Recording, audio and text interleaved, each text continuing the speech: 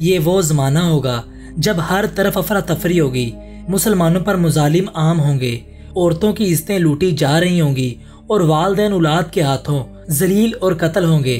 तब मुसलमानों को एक ऐसे दरवेश सिफत इंसान की ज़रूरत होगी जो इस बदबूदार फिजा में खुशबूदार इनकलाब लाए।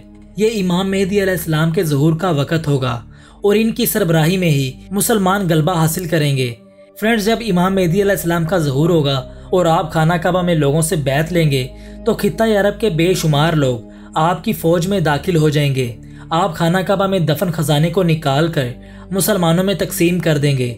इस खजाने को रताजुल काबा कहा जाता है। उलमा कराम के मुताबिक आप इतने सखी होंगे कि आप फरमाएँगे कि जितना कुछ जिससे उठाया जा सकता है, वो ले जाए। जब आपके खजाने की तकसीम की खबर इस्लामी दुनिया में फैलेगी तो खुरुसान से एक शख्स बहुत बड़ी फौज लेकर आपकी खिदमत में मदद के लिए हाजिर होगा। इस लश्कर का सबसे आगे वाला दस्ता मंसूर नामी शख्स के जेर कमान होगा। यह लश्कर मक्का मुकरमा पहुँचने से पहले रास्ते में ईसाइयों और बेदीनियों का खात्मा करता आएगा। उस वक़्त अबू सुफियान की औलाद में से एक शख्स जिसकी ननिहाल कबीला बनु कलब में होगी, वो शख्स इमाम मेहदी के मुकाबले के लिए अपनी फौज भेजेगा। जब ये फौज मदीना मुनवरा के दरमियान एक मैदान में आकर पहाड़ के दामन में मुकीम होगी तो अल्लाह के हुक्म से इसी जगह, इस लश्कर को ज़मीन में दंसा दिया जाएगा। इस फौज के सिर्फ़ दो अफराद ज़िंदा बचेंगे, जिनमें से एक इमाम मेहदी को और दूसरा सफियानी को खबर देगा। फ्रेंड्स, जब इमाम मेहदी अलैहिस्सलाम के लश्कर में अरब अफवाज इकट्ठा होना शुरू हो जाएगी तो इसका सुनकर ईसाई चारों अतराफ से अपनी फौज को जमा करेंगे। ये फौज शाम में इकट्ठी की जाएगी, जिसके हर झंडे के नीचे बारह हज़ार सिपाही होंगे। उस वक़्त इमाम मेदी मक्का से कूच करेंगे और मदीना मुनवरा पहुँच कर रोज़ा रसूल की जियारत करेंगे और इसके बाद शाम की तरफ़ रवाना होंगे।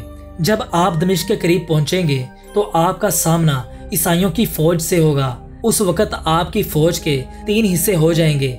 इनमें से एक हिस्सा वो होगा जो खौफजदा होकर भाग जाएगा। अल्लाह ताला उस ग्रोह को कभी मुआफ नहीं करेंगे।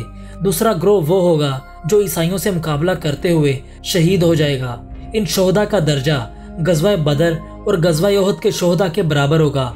इमाम मेदी अलैहिस्सलाम के लश्कर का तीसरा ग्रोह वो होगा, जो ईसाइयों का डट कर मुकाबला करेगा और हमेशा के लिए गुमराही और बुरे अंजाम के अंदेशे से छुटकारा पा लेगा। पहले दिन की जंग के बाद, दूसरे रोज जब इमाम मेदी अलैहिस्सलाम ईसाइयों के मुकाबले के लिए निकलेंगे तो इनके साथ जाने वाले मुसलमान फतह या शहादत का जज्बा लेकर मैदान में उतरेंगे। वहाँ ये तमाम मुजाहिदीन जाम शहादत नोश करेंगे। इमाम मेहदी अलैहिस्सलाम इसके बाद अपने साथ रह जाने वाले थोड़े से अफराद के साथ जहाद की तैयारी करेंगे। तीसरे दिन फिर मुसलमान बड़ी जान फिशानी के साथ ईसाइयों के लश्कर से टकराएँगे और इनमें से अक्सर शहीद हो जाएँगे।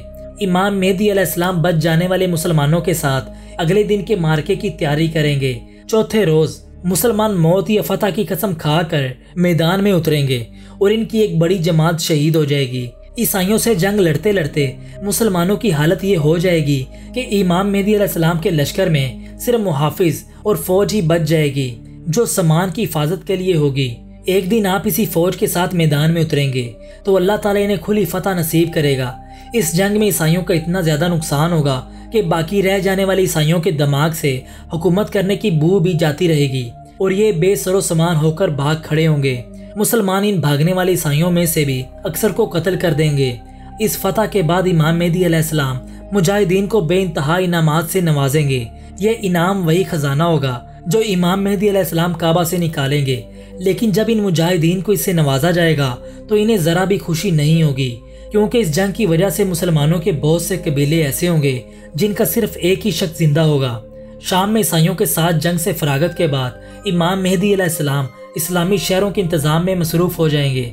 नाजरीन, दुनिया जुल्म से भर चुकी होगी और हज़रत मेहदी अलैहिस्सलाम दुनिया को अदलो इंसाफ से भर देंगे। हज़रत मेहदी अलैहिस्सलाम के जहूर से कबल फितने बहुत बढ़ चुके होंगे। आप फितनों को ख़त्म करेंगे और आपके ज़माने में मोहब्बत और उल्फत का वो रंग होगा जो सहाबा के दौर में था और तमाम मुसलमान आपस में भाइयों की तरह रहेंगे। आपकी खिलाफत पूरी दुनिया में होगी और आप पूरी दुनिया के हुक्मरान होंगे। जिसकी मुद्दत सात से नौ साल के दरमियान होगी। और इमाम मेहदी अलैहिस्सलाम के ज़माने में अक्सर यहूदी मुसलमान हो जाएँगे, जिसकी वजह ये होगी कि इमाम मेहदी अलैहिस्सलाम को तबूत स्कीना मिल जाएगा, जिसके साथ यहूदियों के बड़े जज्बात वाबस्ता हैं। इसलिए वो इस ताबूत को हज़रत इमाम मेहदी के पास देख कर मुसलमान हो जाएँगे।